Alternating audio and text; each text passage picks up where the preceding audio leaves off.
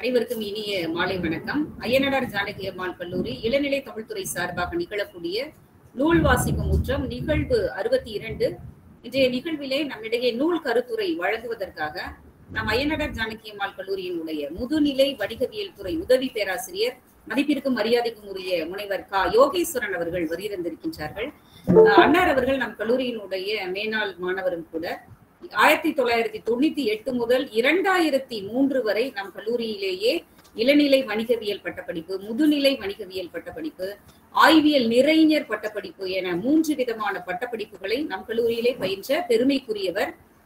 அவர் பயின்று முடித்த ஒரு ஐந்து ஆறு ஆண்டுகளிலே நம் கல்லூரியிலேயே பணியாற்றி வரக்கூடிய சுயநிதி பிரிவில் இருந்து நிரந்தர பணியாசிரியர் நிரந்தர உதவி பேராசிரியராக இன்று பணியாற்றி வருகின்றார். நம் கல்லூரியினுடைய பல அமைப்புகளிலே அவர் தன்னுடைய சிறந்த பங்களிப்பினை செய்து வருகின்றார். இளநிலை கல்வி மேம்பாட்டு அமைப்பினுடைய ஒருங்கிணைப்பாளராக திகழ்கின்றார். பயன்சார் பாடத்திட்ட அமைப்பினுடைய அதிகா உதவி அதிகாரியாகவும் செயலாற்றி வருகின்றார். அன்னார் அவர்கள் நான் பல கூட்டங்களிலே அவர் பேசுவதை கேட்டிருக்கின்றேன்.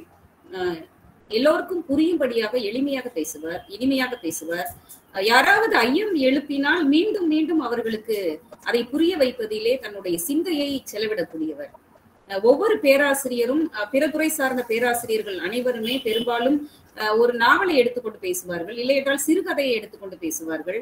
ஆனால் அந்த மரபிலிருந்து வேறுபட்டு இன்று முனைவர் கா. யோகேஸ்வரன் அவர்கள் பக்தி இலக்கியம் திரு மாணிக்கவாசகர் எழுதிய திருவம்பாவை குறித்து பேச இருக்கின்றார்கள். நான் அவரிடம் கேட்டேன் என்ன சார் பக்தி இலக்கியம் பேசுவதற்கு எப்படி உங்களுக்கு விருப்பம் வந்தது என்று? நான் இரண்டாயிரத்தி பனிரெண்டாம் ஆண்டிலிருந்து சிவன் கோயிலுக்கு செல்ல ஆரம்பித்தேன். எனக்குள்ளே சில மாற்றங்கள் நிகழ்ந்தது. சைவ சித்தாந்த சான்றிதழும் பெற்றிருக்கின்றேன். எங்கள் வீட்டிலும் அடிப்படையிலே ஒரு பக்தி செயல்தன்மை இருக்கிறது. எனவே நான் சிவனை சிக்கன பிடித்துக் கொண்டேன் என்று அவர் கூறினார். வித்தியாசமாக கணினி யுகமாக இருந்தால் கூட நாம் கடவுளிடம் இருந்தோ இல்ல கடவுளை வழிபட்ட அந்த அடியவர்களாக இருக்கக்கூடிய அவர்களினுடைய சிந்தனையில் இருந்து நம்மால் விலகி வாழ முடியவில்லை என்பதே உண்மை. பக்தி என்பது அவரவர்கள் உணர்ந்தது. எனவே திருவம்பாவை குறித்து முனைவர் யோகேஸ்வரன் அவர்கள் எவ்வாறு உணர்ந்து இருக்கின்றார்கள் அவர்கள் அதை எப்படி இந்த அவைக்கு வைக்கப் போகிறார்கள் என்பதை பார்ப்பதிலே நானும் உங்களைப் போல ஆவலோடு இருக்கின்றேன். திருவம்பாவை ஆதி ஆதியும் அந்தமும் இல்லாத அருட்பெரும் சோதி என்றுதான் முதன் முதலாக மாணிக்க வாசகர் அந்த பாடலை தொடங்குகின்றார். எப்படி வைணவத்திற்கு ஒரு திருப்பாவையோ அதே போல சைவத்திற்கு ஒரு திருவம்பாவை வேனில் காலம் கொளுத்தி எடுக்கக்கூடிய இந்த கந்தக காட்டிலே இன்று மழை பெய்திருக்கிறது. திருப்பாவையாக இருக்கட்டும் திருவம்பாவையாக இருக்கட்டும் பாடி முடித்த விட உடன் மழை வரும் என்பது நம்பிக்கை. ஆனால் இன்றைய நூல் வாசிப்பு முற்றத்திலே பேச ஆர திருவம்பாவை குறித்து பேசுவதற்கு முன்பாகவே மழை பொழிந்து இந்த பூமி குளிர்ச்சி அடைந்திருக்கிறது. அதுவே மிகப்பெரிய நல்லதொரு நிமித்தமாக இருக்கிறது.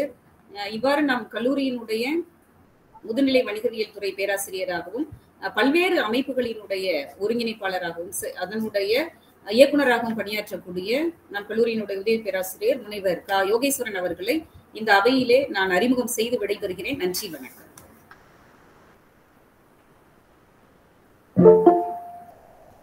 இப்பொழுது வணிகவியல் துறை உதவி பேராசிரியர் முனைவர் கா. யோகேஸ்வரன் அவர்கள் திருவம்பாவை நூல் குறித்து நூலுரை ஆற்றுவார்கள். நன்றி. அவருடைய அவருடைய முகம் வரலையே? இல்ல சார் தெரியுது. சார் தெரியுது. நீங்க வீடியோ ஆஃப் பண்ணிட்டு வந்தீங்கன்னா சரியா இருக்கும் சார் உங்களுக்கு.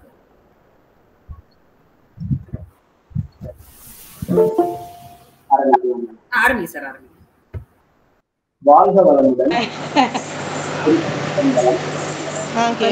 கேக்குதுன்னு? இந்த லைன் கிடைக்காதனால இணையத்தில் இணைந்துள்ள அனைவருக்கும் அணி அடியேனின் இனிய மாலை வணக்கத்தை எனது சிரம் தாழ்த்தி தரம் கூட்டி தெரிவித்துக் கொள்கிறேன். இந்த உலகத்தில் யார் ஒருவர் சைவராக வாழ்கிறார்களோ? அவர்கள் அனைவரும் அறிந்து கொள்ள வேண்டிய ஒரே பெயர் தெரிந்து வைத்துள்ள ஒரே பெயர் எக்காலத்திலும் என்றைக்கும் மறக்காமல் இருக்க வேண்டிய ஒரே பெயர் அதுவே மாணிக்க வாசகரின் திருப்பெயர்.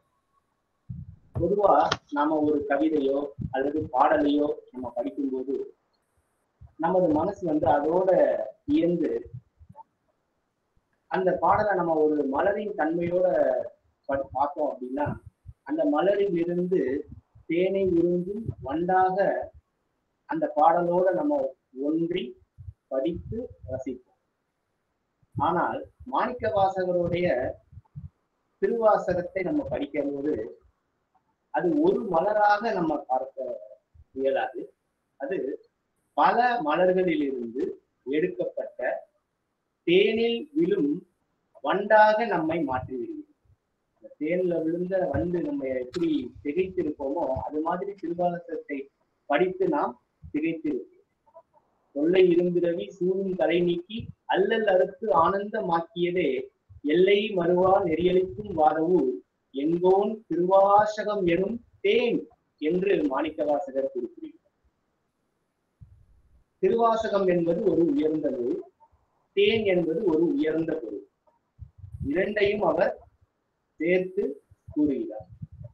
தேன் என்பது தானும் கெடாது தன்னில் விழுந்த பொருளையும் கெடவிடாது. அதே போல் திருவாசகம் மாணிக்கவாசகர் எழுதிய நாள் முதல் இன்றைக்கும் நாளைக்கும் கெடாது. அதை படித்து பொறுமுணர்ந்து தனது தமது வாழ்க்கையில் கடைபிடிப்பவர்களின் வாழ்வையும் அழிக்காமல் அது காத்திடும். அப்பேற்பட்ட உயர்ந்த நூல் திருவாசகம். அந்த திருவாசகத்துல இருந்து திருவெம்பாவைய நான் எடுத்துக்கிட்டேன். இப்ப உங்க மனக்கண்ணோட்டத்துல ஒரு நிகழ்வை நீங்க நினைச்சுக்கோங்க. இப்ப மார்கழி மாதம் இப்ப கூட நம்ம சிவகாசியில அப்படிதான் இருக்கு. மார்கழி மாதம் வயல்வெளியில் புல் நுனியில் பனி சிலிர்க்கும் அதிகாலை. அதிகாலை நாலு மணி முதல் ஆறு மணி இடைப்பட்ட பொழுதில் அதை நம்ம வந்து பிரம்ம முகூர்த்தம் என்று கூறுவோம். இந்த பிரம்ம முகூர்த்தத்தோட சிறப்பு என்னன்னா சிவபெருமானே நம் நம்மிடம் வந்து நமக்கு தரிசனம் வழங்கும் நேரம் பிரம்ம முகூர்த்தம் என்போம். அப்படிப்பட்ட மார்கழி மாதத்துல சில்லென்ற பொழுதினில மகளிர்களும் சிறுமியர்களும் கண் விழித்து எழுதல் என்பதே ஒரு சிரமமான ஒண்ணு. அது ஒரு பக்கம் இருக்கும். அதே போல கார் மேகம் வானில் கவிந்து இருள் விலகா காலை பொழுதினிலே தனியாக அவர்கள் நடந்து நீராடச் செல்லும் போது உள்ள அச்சங்கள் மறுக்கிறோம் இப்படி அச்சங்களும் சிரமங்களும் இருக்கும். ஆனாலும் அவங்க அத அந்த நீராட செல்வதில முனைப்பா இருப்பாங்க. அப்ப அதை தீர்க்கிறதுக்கு என்ன செய்வாங்க அப்படின்னு பாத்தீங்கன்னா தெருப்பெண்கள் அனைவரும் ஒன்றாக கூடி ஒருவரை ஒருவர் பாடி துயில் எழுப்பி கூட்டமாக கூடி ஆடி பாடி மகிழ்ந்து நீராட செல்வது வழக்கமாகி நமது தமிழ் பெண்களின் வழக்கமாக இருந்தது.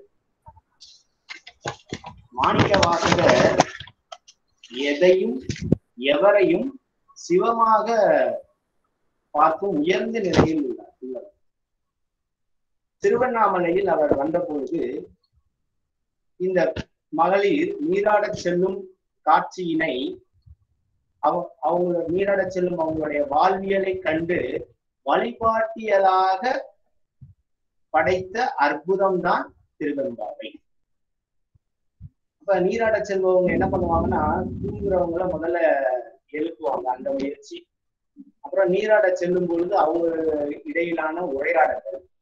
இத நாடக பாணியிலேயே கருத்துக்களை நகர்த்தி செல்லும் உத்தியினை மாணிக்க வாசகர் திருவம்பாயில் திருவம்பாவையில் கையாண்டுள்ளார் அதாவது சைவ சித்தாந்த விளக்கங்களை ஒரு ஒரு நாடக பாணியில இயல்பா நடக்கிறதையே அவர் அதுல இருந்து வரக்கூடிய சாராம்சத்தை அந்த சாரை புரிந்து கரும்பிலிருந்து சாரை புரிந்து நமக்கு வந்து கொடுக்கிறார். அப்படி திருவெம்பாவையில் மொத்தம் இருபது பாடல்கள் உள்ளது. அந்த இருபது பாடல்கள்ல முதல் எட்டு பாடல்கள் நீராட செல்வ செல்லும் போது சிவபெருமானை அவரோட புகழை போற்றி பா- பாடுவது. ஒன்பதாவது பாடல் சிவ சிவபெருமானின் தங்கள் வேண்டுதலை கூறுவது. பத்தாவது பாடல் அவருடைய சிறப்பு இயல்புகளை கூறுவது.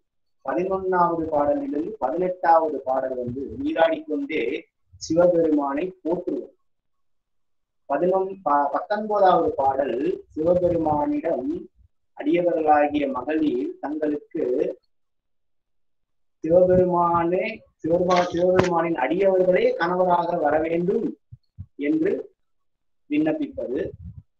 இறுதியாக இருபதாவது பாடல் சிவபெருமானை போற்றி தங்களுக்கு அருட்பெரு வாழ்வு வேண்டும் என்று மார்கழி மாத விரதத்தினை வணங்குகிறோம் என்று கூறுகிறது இந்த திருவம்பாவையில் ஒவ்வொரு பாடல்களிலும் இறுதியில எம்பாவாய் என்று தொடர்மொழியோட முடியும். எம்பாவாய் என்றால் பாவை போன்ற பெண்ணே நீ சிந்திப்பாய் என்றார் இன்னைக்கு நம்ம ஒவ்வொரு தவங்களும் ஒரு ஒரு பிரச்சனைக்கும் நம்ம சிந்தித்தாலே அந்த பிரச்சனைக்கு நம்மளே வந்து சொல்யூஷன் கொண்டு கொண்டு வந்துடலாம் அதை தான் சிந்திப்பாய் என்று. இப்ப திருவெம்பாவைய மாணிக்க வாசகர் பெண்களை மையப்படுத்தி எழுதியிருக்காரு. அப்ப ஆண்களுக்கு என்ன அப்படிங்கிறது கிடையாது.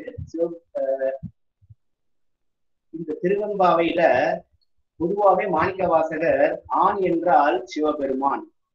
மித்த எல்லா அடியார்களும் பெண் தான் அப்படிங்கிற ஒரு விளக்கத்தை திருவாசகத்துல ஒவ்வொரு இடத்துலயும் சொல்லுவார். அதனால இது எல்லாருக்கும் பொருள் சொல்லிய பாட்டின் பொருள் உணர்ந்து சொல்லுவார் செல்வர் சிவபுரத்தின் உள்ளார் சிவனடிக்கையில் பல்லோரும் ஏற்று பணிந்து என்பது மாணிக்கவாசகரின் மனக்கருத்து. அப்படி திருவெம்பாவையின் இருபது பாடல்களையும் படித்து பொருள் உணர்ந்து அதில் உள்ள சைவ சித்தாந்தத்தை அறிந்து எனது ஆணவம் கர்வம் மாயை ஆகியவற்றை போக்குவதற்கு நான் ஒவ்வொரு நாளும் முயற்சிக்கிறேன். எனது மு- இந்த முயற்சியில் ஒரு பயிற்சியாக இந்த திருவெம்பாவையில் உள்ள இருபது பாடல்களில் உள்ள பன்னிரண்டு கருப்பொருளை உங்களுக்கு பகிர்வதற்கு இந்த நூல் வாசிக்கும் நுட்பத்தினை நான் பயன்படுத்திக் கொள்கிறேன். பனிரெண்டு கருப்பொருளில் தலையாயாக நான் முதலில் சொல்வது இருபது பாடல்களிலும் மாணிக்க வாசகர் சிவபெருமானை பல அடைமொழிகளில் வர்ணித்து கூறுகிறார். அதில் எனக்கு என்னை கவர்ந்தது ஆதியும் அந்தமும் இல்லா அருப்பெருஞ்சோதி சிவலோகன் பிள்ளை சிற்றம்பலத்து ஈசன் அத்தன் ஆனந்தன் அமுதன் விண்ணுக்கு ஒரு மருந்து வேத விழுப்பொருள் சிவன் முன்னை பழம் தீயாடும் கூத்தன் தென்னாட்டவன் முக்கண்ணன் மகாதேவன் தேசன் ஏழை பங்காளன் கூத்தன் அப்படின்னு அடிக்கிட்டே போலாம். அவ்வளோ அடைமொழிகள்ல நம்ம சிவபெரு சிவபிரான் அப்படின்னு ஒரு வார்த்தையில சொன்னது அவ்வளவு அடைமொழிகள்ல அவரை வர்ணிச்சு அவரை போற்றி புகழ்ந்து இருக்கிறார் அடுத்து எனக்கு மிக கவர்ந்த ஒரு கருப்பொருள் என்னன்னா முதல் வரியிலேயே ஆதியும் அந்தமும் இல்லா அருப்பெரும் ஜோதி அப்படின்னு ஆரம்பிக்கிறார். ஒரு புராண வரலாறு உண்டு. ஒரு புராண வரலாறு. இந்த புராண வரலாறுல என்ன அப்படின்னா சிவனுடைய திரு திருவடியையும் முடியையும் யார் கண்டு வருகிறார்களோ அவரே பெரியவர் என்ற ஒரு போட்டி. போட்டி. எல்லாருக்கும் தெரிந்ததுதான் அது. அது என்ன எதுக்காக அப்படின்னா அந்த போட்டியில யாரு ஜெயிக்கிறாங்களோ அவங்க தான் பெரியவங்க. அந்த போட்டியில யாராலையும் ஜெயிக்க முடியல. திருமாவாலையும் ஜெயிக்க முடியல. பிரம்மாவாலையும் ஜெயிக்க முடியல.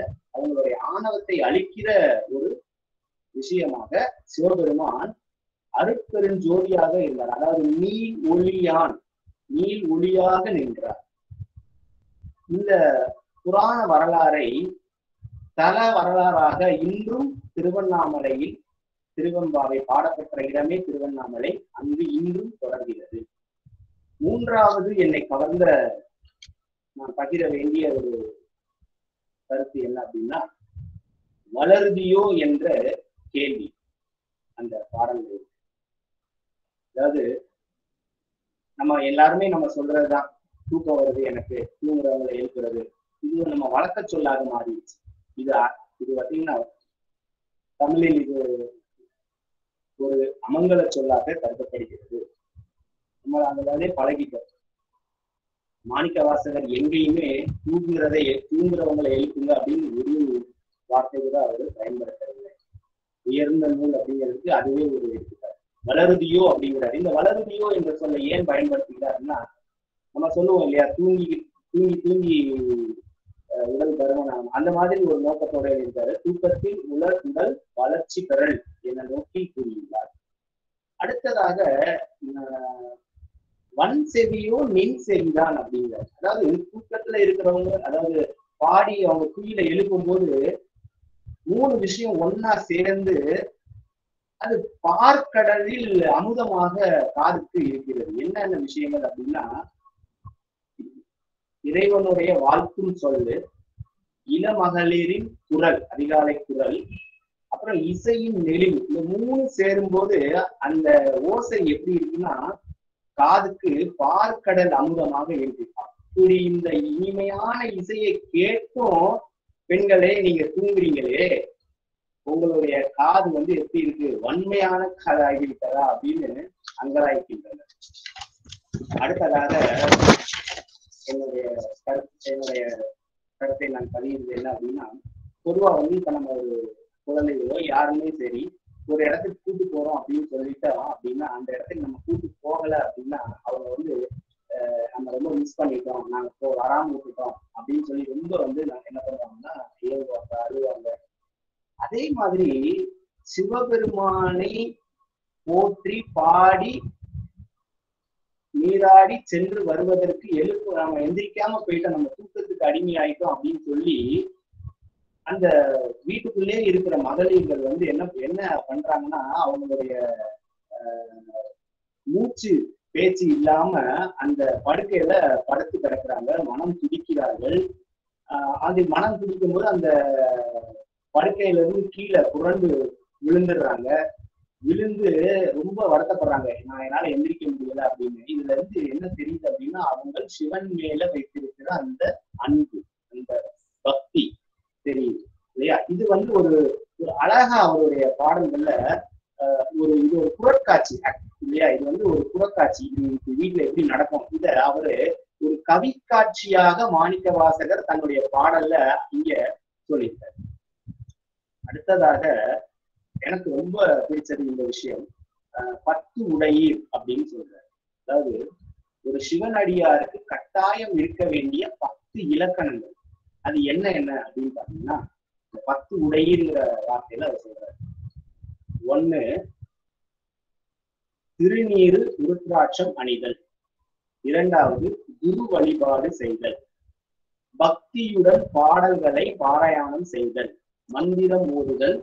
புகழ்ந்து பாடல் புண்ணிய செயல்கள் செய்தல் சிவன் குறித்த செய்திகளை கேட்டல் சிவாலய தரிசனம் செய்தல் சிவன் அடியாருக்கு அமுது அடித்தல்.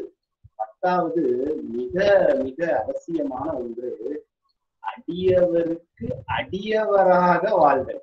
இப்ப சிவனுக்கு அடியவராக வா அதாவது சிவன் அடியாருக்கு அடியவராக வாழ்தல். இது நான் இதை வந்து நான் பன்னெண்டாவது என்னுடைய மைய கருத்துல இதை நான் சொல்லுவேன். அடியவருக்கு அடியவராக வாழ்தல் அப்படிங்கிறது நம்ம வந்து ஒரு ஒரு நினைச்சுக்கிறோம். சிவன் கோவிலுக்கு போய் நம்ம வந்து சிவனை கும்பிட்டோம்னா நம்ம வந்து நமக்கு எல்லா அருளும் கிடைக்கிறது மட்டும் கிடையாது. இந்த பத்து இலக்கணங்களையும் நம்ம ஒரு சிவனடியாராக பின்பற்றினோம் அப்படின்னு இருந்தால் அதுதான் அந்த பத்து உடையீர் அப்படிங்கிறத அவர் சொல்றார். அடுத்து விண்ணு மின்னுலகத்தவரும் மண்ணுலகத்தவரும் மற்ற உலகத்தவர் யாருனால தேவாதி தேவர்கள் பிரம்மன் திருமால் இவங்க யாருக்கும் அவரை தெரிந்து கொள்ள முடியாது அவர் நினைச்ச நேரத்துக்கு வரமாட்டாங்க.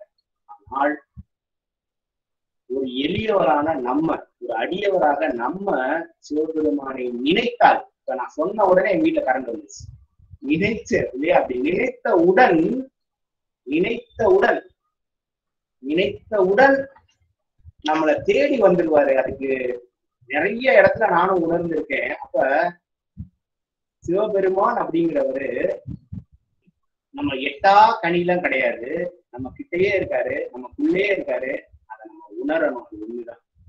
அததான் இங்க அந்த பாடல்ல சொல்லியிருக்காரு. அடுத்தது எங்கும் நிறைந்து உள்ளார். பிரபஞ்சம் முழுக்க உள்ளார். நமது உடலிலும் உள்ளார். நமது உயிரிலும் கலந்துள்ளார் நமது அறிவிலும் கலந்துள்ளார் அதனால அவருக்கு ஏது அவன் ஊர்? ஏது அவன் பேர்? யார் உற்றார்? யார் அயலார்? ஏது அவனை பாடும் பரிசேலோ? அப்படின்னு சொல்றாரு. அவருடைய ஊர் எது?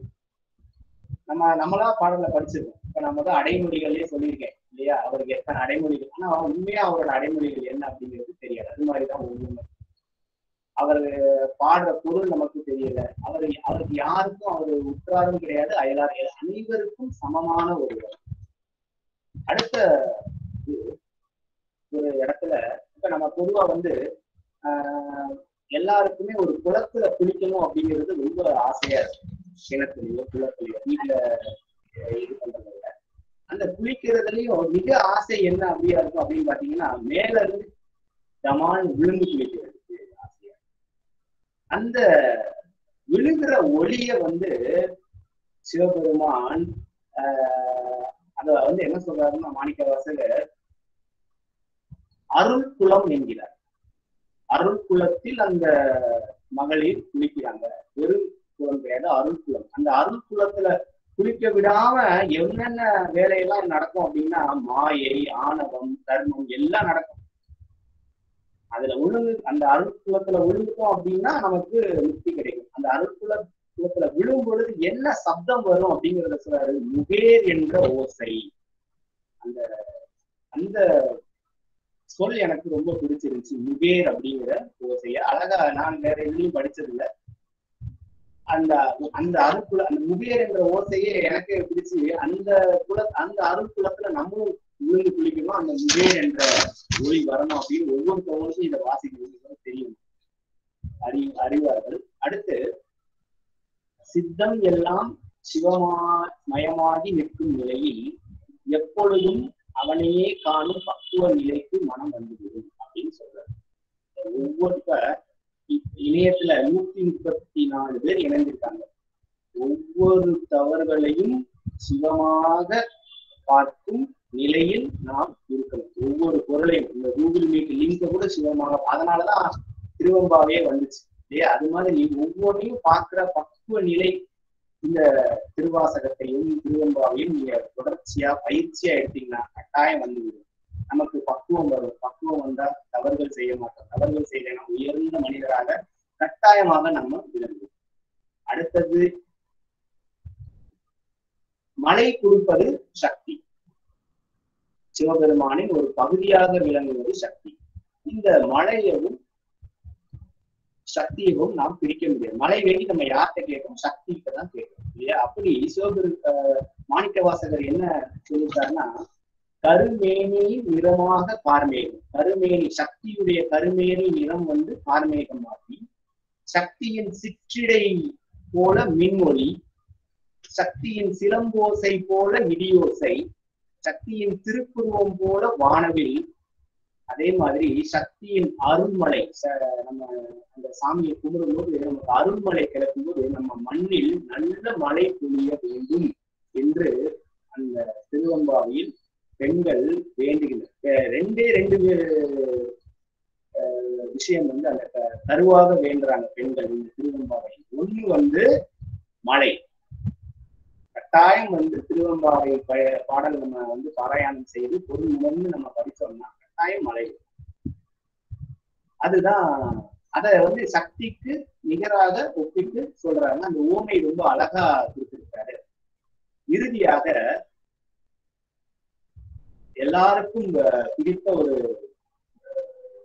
என்ன அப்படின்னா உன் கையில் என் பிள்ளை உனக்கே அடைக்கலம் என்று கூறுகிறார். நீ சிலிர்த்திருச்சு எனக்கு வந்து இந்த வரியை படிக்கும்போது. இவ்வளோ கருத்துக்கள் இருக்கு இதுல. அதுல ஒரு சின்ன கருத்துக்கள் தான் என்னால இப்ப இப்போதைக்கு சில சைவ சித்தாந்த விளக்கங்கள் நமக்கு கூறுவதற்கு நேரம் இருக்காது பொதுவாக பெண்களுக்கு ஒரு பெரிய அச்சம் இருக்கும். என்ன அச்சம் என்று பாத்தீங்கன்னா தங்களுடைய திருமண கோலத்தில் தன்னுடைய தந்தை இன்னொரு நபருக்கு தாரை வார்த்து கொடுக்கும் ஒரு பயம். இந்த பயம் பிஎஸ்டி இன்டர்வியூல பிஎஸ்டி ஹவர்ஸ்ல வராது. ஒரு போஸ்டிங் இன்டர்வியூல இருக்கிறதுக்கு அவ்வளவு தைரியமா ஹேண்டில் பண்ணிட்டு அந்த இடத்துல நிலை துளைந்து ஒவ்வொரு பெண்களும் இருப்பார் அப்படி ஒரு அச்சம் இருக்கும். இந்த அச்சத்தை போக்கணும் அப்படின்னா அவங்களுக்கு ஒரே வழி என்ன அப்படின்னா சிவனடியார்களா இருக்கிற நாங்க பெண்கள் எங்களுக்கு சிவனடியாரே கணவனாக அமைய வேண்டும் அப்படின்னு அவங்க வேண்டுறாங்க. மலை கேட்டு வேண்டுறாங்க. அதான் நான் சொன்னேன் இல்லையா அந்த பத்து உடையீர்ல கடைசி பன்னெண்டாவது அடியவருக்கு அடியவராக வாழ வேண்டும் அப்படிங்கிறதுல சிவனடியாருக்கு தான் நாங்க எங்க நாங்க வந்து மனைவியாக இருக்க வேண்டும். அப்படி இதுக்கு என்ன அப்படின்னு பாத்தீங்கன்னா இதுக்குதான் அந்த மார்கழி நோன்பு ஏன்னா எதுக்காக அப்படின்னா ஒண்ணு வந்து சிவனடியார்கள் தங்களின் மனைவிகளை நன்றாக பாதுகாத்து கொள்வர் அப்படின்னு அவங்களுடைய மனத்தில் இரண்டாவது என்ன அப்படின்னா பொதுவா ஒரு பொருள் நம்ம தண்ணீரை கரைக்கிறோம் இப்ப சந்தனத்தை நம்ம தண்ணீர்ல கரைக்கிறோம். கரைச்சு முடிச்சதுக்கு அப்புறம் சந்தனத்தையும் தண்ணீரையும் தனியாக பிரித்து எடுக்க முடியாது. அது மாதிரிதான் கணவனும் மனைவியும் இணைந்து அதுதான் அந்த தண்ணியையும் பாலையும் நம்ம அந்த சாரை வார்த்தைக்கு வந்து கையில வந்து அப்பா வந்து அப்ப அது மாதிரி பிரியாம இருக்கணும் அப்படிங்கிற. அப்ப அப்படி மாதிரி உலகம் வந்து எப்படின்னா கணவன் மனைவி ஆனதுக்கு அப்புறம் ரெண்டு பேரும் சேர்ந்து செய்யறதுதான் ஒரு செயலா இருக்கும். தனித்தனியாக செய்யற செயலாக இருக்காது. அப்படி சேர்ந்து செய்யும் பொழுது சிவனடியாரே கணவராக வேண்டும் என்று நோன்பு இருக்கின்றனர் அதுதான் அவங்களுக்கு பெருவாழ்வாக அவங்க நினைக்கிறாங்க. அப்படிங்கிறது மாணிக்கவாசகர் இங்க சொல்றாரு. சரிங்களா? இப்ப இந்த திருவம்பாவை வந்து மழை மார்கழி நீர் சம்பந்தப்பட்டது. இப்ப நம்ம வந்து முன் முன்னீர்ல நம்ம வந்து குளிக்கணும். ஆற்று நீர் ஊற்று நீர் கடல் நீர். இந்த முன்னீரும் நம்மளுடைய புறத்தே உள்ள அழுக்குகளை அகற்றுகிறது. மார்கழி நீர் நமது அகற்றே நம்ம அகத்தில் உள்ள அழுக்குகளை அகற்றுகிறது. இப்ப அந்த காலத்துல இப்ப உள்ள பசங்களுக்கு எல்லாம் தெரியுமான்னு தெரியல.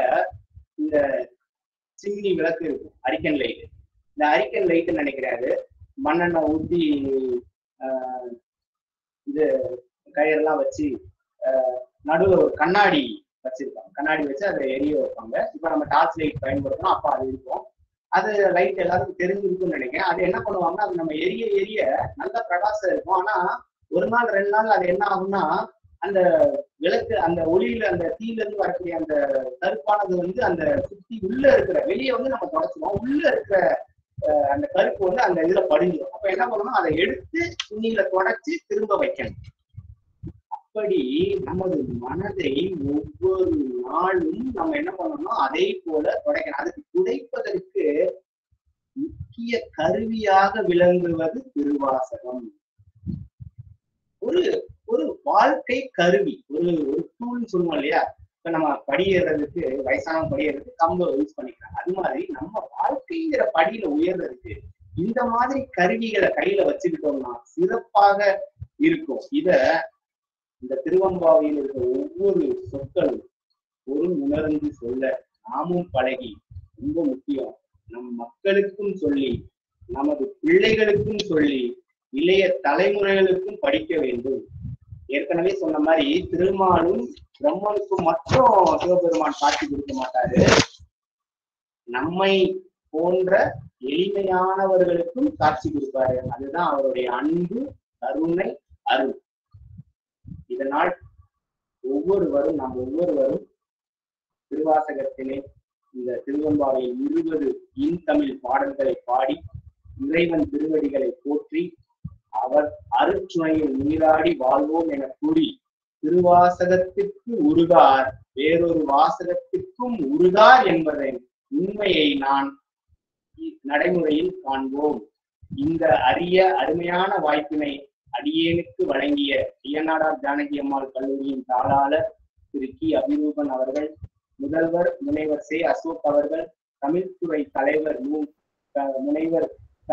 சிவனேசன் மற்றும் முனைவர் நா. அருள்மொழி அவர்களுக்கும் ஒருங்கிணைப்பாளர் முனைவர் க. வினோத் முனைவர் சே. காந்தி பண்பா பன்னாட்டு ஒருங்கிணைப்பாளர் முனைவர் குணசீலன் சுப்பிரமணியன் முனைவர் ரத்தின வெங்கடேசன் முனைவர் வானதி பகீரதன் மற்றும் திரும திருமதி சக்தி விஜயகுமார் அவர்களுக்கு எனது நெஞ்சார்ந்த நன்றிகளை தெரிவித்துக் கொள்கிறேன். எனது உரையை இணைய வாயிலாக கேட்டுக்கொண்டிருக்கும் அத்துணை நபர்களுக்கும் அடியேனின் மனமார்ந்த நன்றிகள்.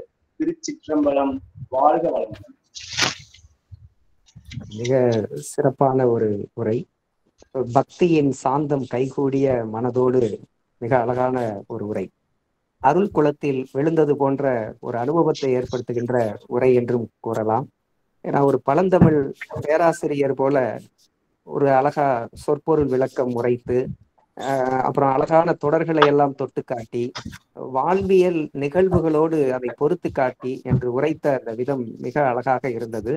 எனவே ஐயனாடா ஜானகியம்மாள் கல்லூரியின் முதுநிலை வணிகவியல் துறை உதவி பேராசிரியர் யோகேஸ்வரன் ஐயா அவர்களுக்கு நன்றியை தெரிவித்துக் கொள்கின்றோம். இப்பொழுது இந்த நிகழ்வு குறித்ததான கருத்துரை நேரம். கருத்துரை வழங்குவதற்கு முதலாம் ஆண்டு வணிக நிர்வாகவியல் மாணவர் கே. கார்த்திகேயன் அவர்களை அன்போடு அழைக்கின்றேன்.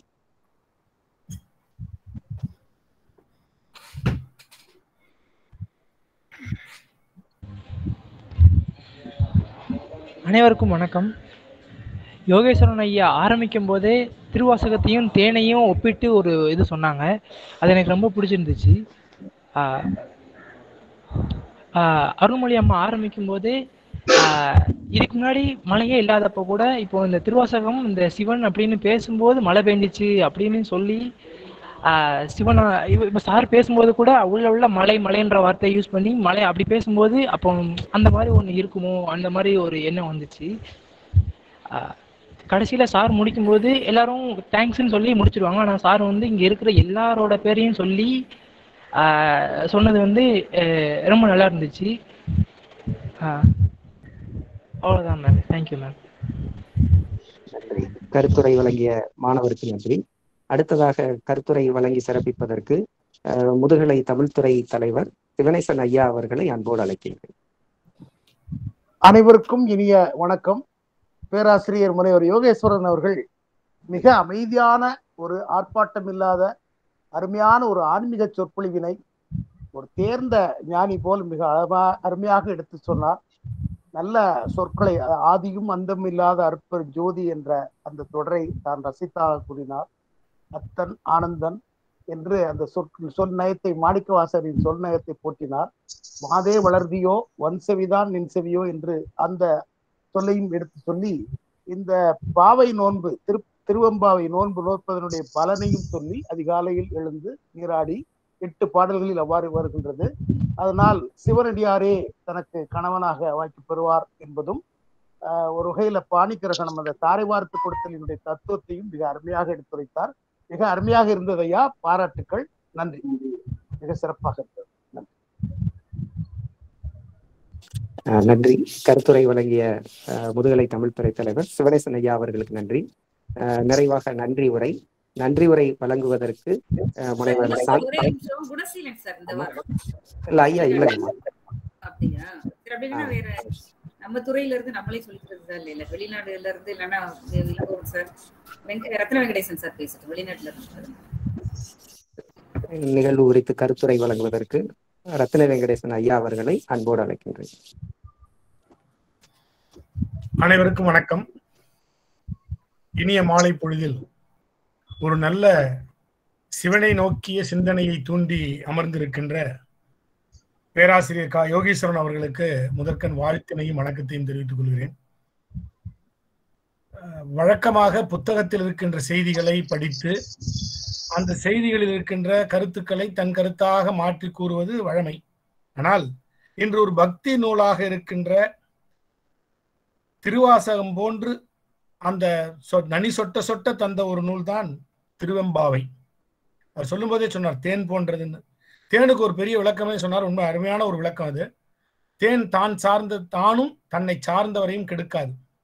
அது மாதிரி சிவபெருமானை சார்ந்தவரையும் அவரும் கெடாமல் இந்த உலகத்தை காத்து கொண்டிருக்கிறார் என்று சொன்ன அந்த செய்தி ரொம்ப ஒரு பக்தி மார்க்கத்திலே தோய்ந்து ஆழ்ந்து அதிலே திளைத்திருக்கின்ற ஒருவரால் தான் சொல்ல முடியும் என்பதை நன்றாக நிரூபித்திருக்கிறார். துவக்கத்திலே சொன்னால் நான் அதிகமா இப்ப வந்து சிவபெருமானை நோக்கி சிந்தித்துக் கொண்டிருக்கிறேன் என்று சொன்னது. மாணிக்க வாசகரை பத்தி சொல்லும்போது மாணிக்க வாசகனின் வாசகத்தை நான் கலந்து பாடுங்கால் நற்கருப்பன் சாட்டினாலே தேன் கலந்து ஊன்களும் திவட்டாமல் இனிப்பதுவேன்னு சொல்லி முடிப்பாங்க. ராமலிங்கடிகளார். அப்படி ஒரு அற்புதமான தன்மை கொண்ட பாடல்களை திருவாசகத்திற்கு உருகார் உருவாசகத்திற்கும் உருகார் என்ற அந்த தன்மையுடைய திருவாசகத்தில் இருந்த ஒரு பகுதி நமக்கு கிடைத்தது திருவம்பாவை.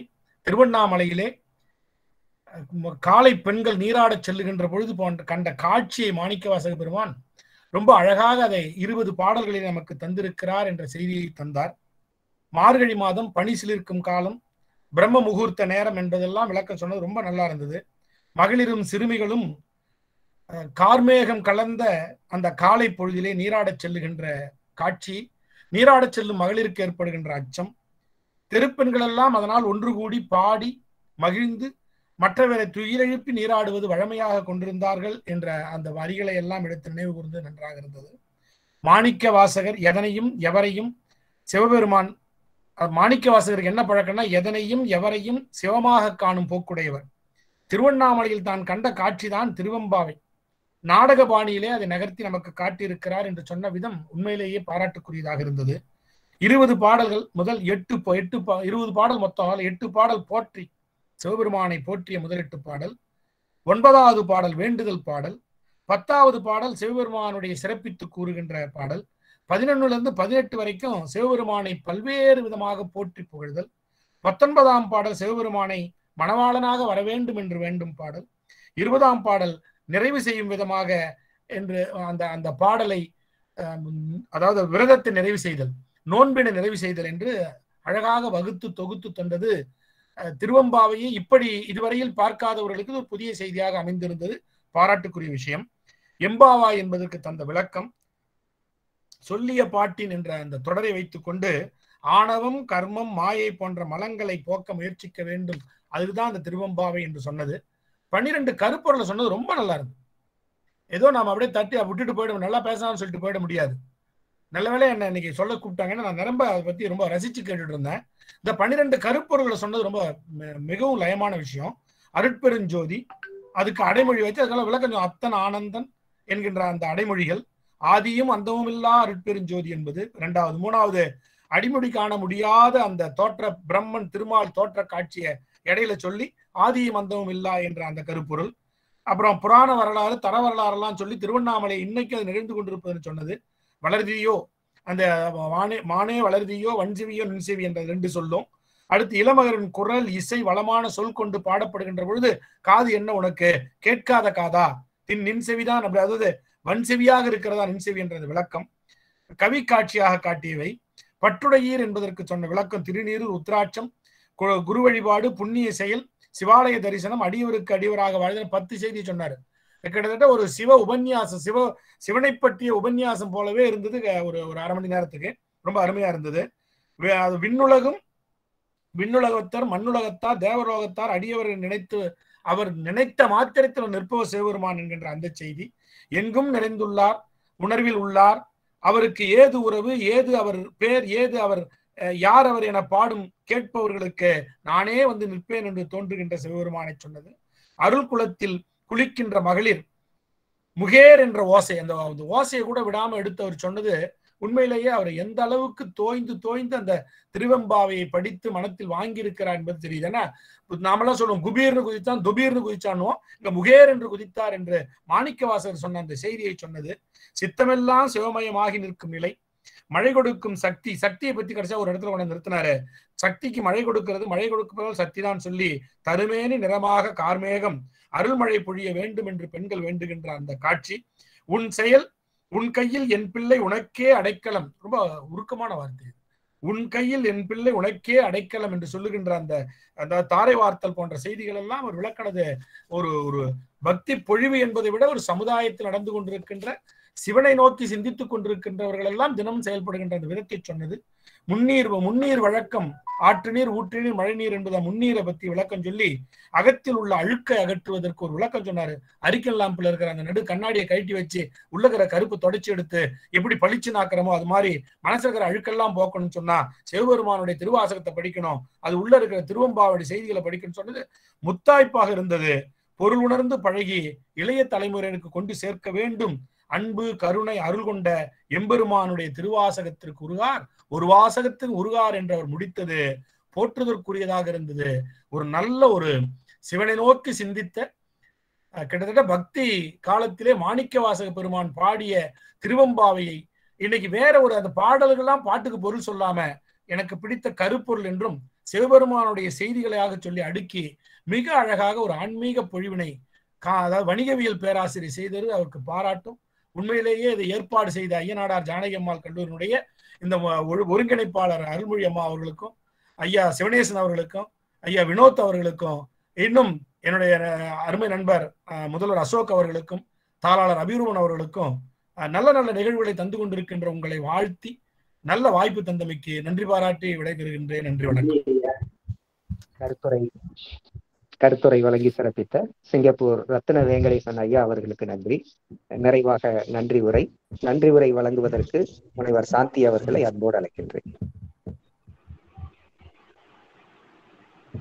அனைவருக்கும் இனிய மாலை வணக்கம். நூல் வாசிப்பு முற்றம் அறுபத்தி இரண்டாவது நிகழ்வு இந்நிகழ்வினை தொடர்ந்து நாங்கள் நடத்துவதற்கு நல்வாய்ப்பினை வழங்கி வரும் கல்லூரி தாளாளர் முதல்வர் உள்ளிட்ட நிர்வாக குழு உறுப்பினர்களுக்கு துறையின் சார்பாக நன்றி கூறிக்கொள்கின்றோம். இன்றைய நிகழ்விலே அறிமுக உரை நிகழ்த்திய இளநிலை தமிழ்துறை தலைவர் முனைவர் ந. அருள்மொழி அம்மா அவர்களுக்கு நன்றி கூறிக்கொள்கின்றோம். அயனடர் ஜானகி அம்மாள் கல்லூரியில் முதுநிலை வணிகவியல் துறை உதவி பேராசிரியர் முனைவர் கா. யோகேஸ்வரன் அவர்கள் மாணிக்கவாசகர் இயற்றிய திருவம்பாவை நூல் குறித்து கருத்துரை வழங்கினார்கள்.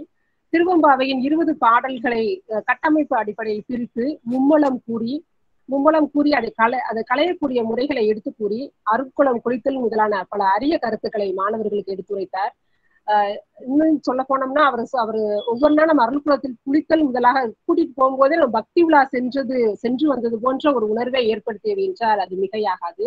அது மட்டுமின்றி சிவனுக்கு வழங்கப்படக்கூடிய பெயர்கள் சிவனடியார்களுக்கு அமைய வேண்டிய நற்குணங்களை கூறி அதாவது பிறவியாகிய கடலை கடக்கிறதுக்கு மிகப்பெரிய ஆயுதம் வந்து சிவபெருமான் தான்.